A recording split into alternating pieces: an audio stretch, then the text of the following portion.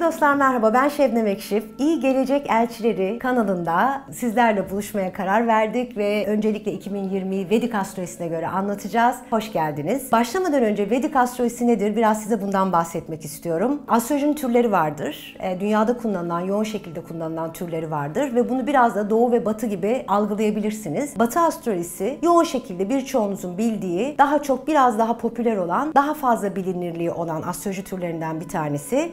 E, Vedik astrolojisi ise daha doğu menşeli, Asya kökenli, Hindistan menşeli olduğuna inandığımız ve çok uzun yıllar e, öncesine dayanan bir geçmişi olan özel bir astroloji türü. Vedik astrolojide kullandığımız gökyüzü argümanları gökyüzüne göre baktığınızda gerçek gökyüzü değerlerini öncelikle içeriyor. En büyük farklarımızdan biri bu. Batı astrolojisi zaman içinde burçların her 72 yılda bir derece kayması nedeniyle bir kaymaya maruz kalmış ve gerçekte sizin alanlarınızı gösteren hem iç alanlarınızı gösteren gerçek burç değerlerinizi aslında Vedik astroloji veriyor. Böyle bir özelliği var. Benim e, bu astroloji türünü seçme nedenlerimden bir tanesi de bu şüphesiz. Dolayısıyla sizin bir bütünsel olarak alan, daha e, bütünsel bir yaklaşım içerisinde olan, sadece burçlarınızı değil, gezegenlerinizi değil, hayatı nasıl algıladığınız, ruhunuzun yolculuğunun ne olduğunu, kaderin nasıl bir biçimde size tezahür ettiğini anlatan bir astroloji türü. Çok daha bütünsel, daha büyük bir bakış açısıyla bakıyor. İçinde e, biraz daha şifalanma yöntemleri, remedi dediğimiz iyileştirme yöntemleri de var. Taşlardan, renklerden, sayıların özelliklerinden bu anlamda faydalanabiliyoruz.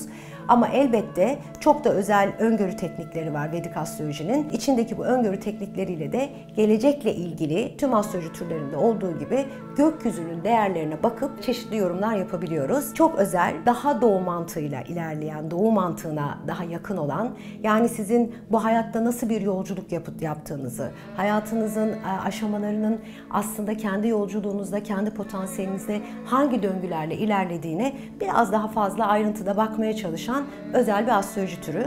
Batı'dan en büyük farkı e, gerçek gökyüzü değerlerini kullandığı için, hesaplamalarımızda bunu baz aldığımız için batıya göre burçlarınız bir geride çıkabiliyor Vedik astrolojisinde. Bunu bilmekte de fayda var. Bu videoda ve diğer videolarda 2020 yılının genel olarak etkilerinden ve burçlarımızın bu anlamda 2020'den nasıl etkileneceği, yani burç bazında da buradan nasıl etkileneceğimizi anlatacağım. Ama öncelikle 2020 önemli bir sene.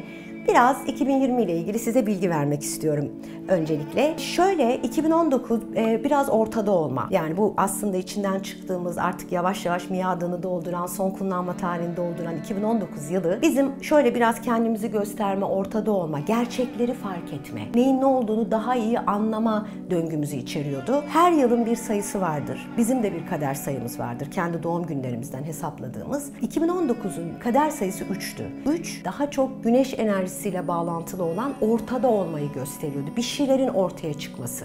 Şimdi 2020 ile beraber 4'e dönüyoruz.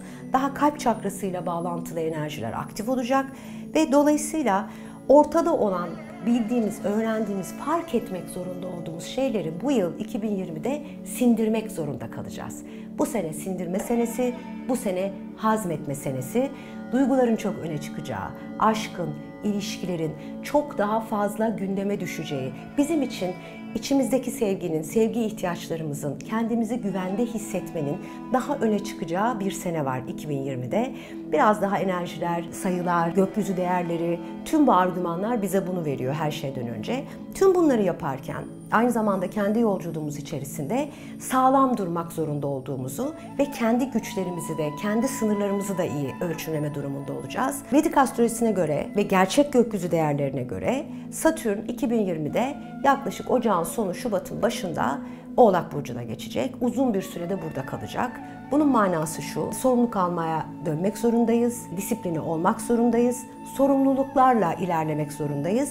Bu etki bizim ne yapıyorsak bunu biraz daha dikkatli yapmamızı, daha düşünerek yapmamızı ama sorumluluktan kaçmayan, disiplinden kaçmayan insanların 2020 yılında önemli başarılar elde edebileceğini de işaretlerinde birini gösteriyor. Şöyle biraz tembelliği sevenler, biraz her şeyi konforu ile yapmak isteyenler, konforuna daha düşkün olanlar 2020'de bir parça daha zorlanabilirler.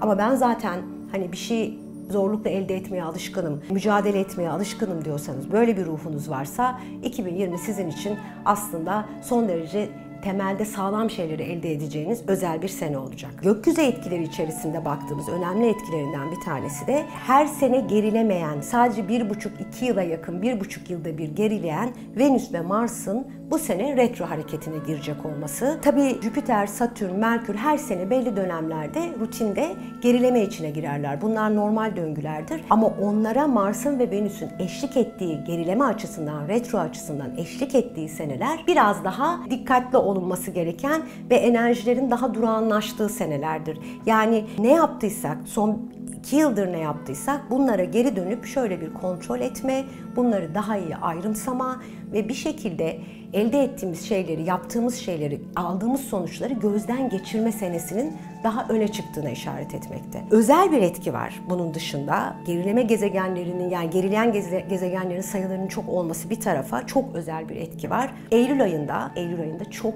özel bir enerji var Vedik astrolojisine göre. 500 yılda bir olan özel bir gökyüzü hareketi gerçekleşecek. Bunu üstadlar şöyle olacak bu. Neredeyse bütün gezegenler tamamı değil ama sanıyorum Venüs dışında bütün gezegenler kendi öz burçlarında ve kendi bildikleri alanda sıralanacaklar, hizalanacaklar ve bütün gezegenler burçlara dağılacaklar.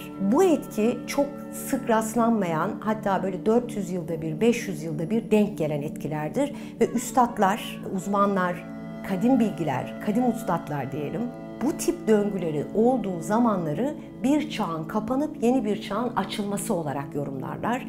Bu kadar önemli bir seneyi geçiriyoruz. Sadece dünyevi anlamda değil, frekanslar, enerjisel alanlar, kendi atlamamız gereken level'larımız, kendi atlamamız gereken tekamül seviyelerimize çok özel bir zamandan geçeceğiz 2020'de ve özellikle 2020'nin ikinci yarısında.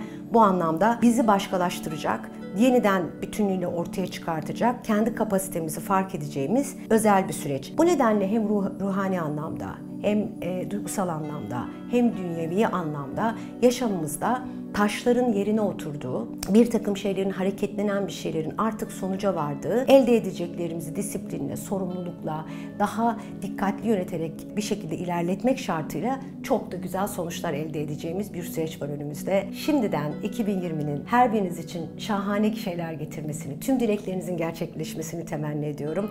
Diliyorum ki ilerlemeniz gereken yolculuklarda hem ruhsal olarak hem dünyevi olarak disiplinden çıkmadan, sorumluluklarınızla daha iyi yüzleşerek çok güzel sonuçlar elde edersiniz. Sevgiyle, başarıyla dolu bir sene olsun inşallah 2020.